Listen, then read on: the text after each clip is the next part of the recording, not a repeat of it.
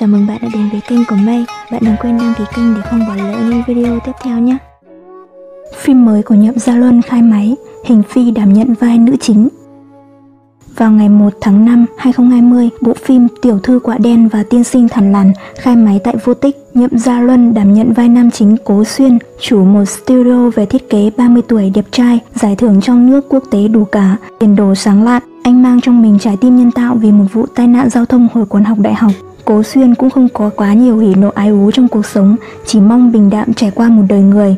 Cho đến khi tiên sinh thần lằn gặp được tiểu thư quạ đen Khương Tiểu Ninh, Nữ chính Khương Tiểu Ninh do nữ diễn viên sinh năm 1994, Hình Phi thủ vai.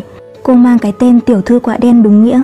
Mồ côi cha mẹ từ nhỏ, sống nương tựa vào bà nội đã cao tuổi, nhưng không bởi vì số phận khắc nghiệt mà chán nản. Ngược lại, cô luôn vui vẻ, lạc quan và phấn đấu có một cuộc sống tốt đẹp.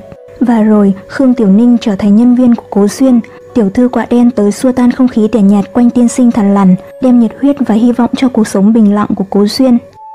Nam chính Nhậm Gia Luân đã quá quen mặt với khán giả. Trong năm 2020 có nhiều bộ phim do anh diễn chính được lên sóng như Cẩm Y Chi Hạ đóng cùng Đàm Tùng Vận, bộ phim Dân Quốc Thu Thiền diễn đôi cùng với nữ diễn viên Lý Mạn, Mỹ nhân Mộ Bạch Thủ diễn cùng với nữ diễn viên xinh đẹp Trương Huệ Văn. Ngoài ra còn có nhiều bộ phim của anh đã đóng máy chờ ngày lên sóng như Không Nói Tạm Biệt, Lam Diễm Đột Kích. Sau Cẩm Y Chi Hạ, Nhậm Gia Luân trở thành cái tên cực kỳ hot trong năm 2020.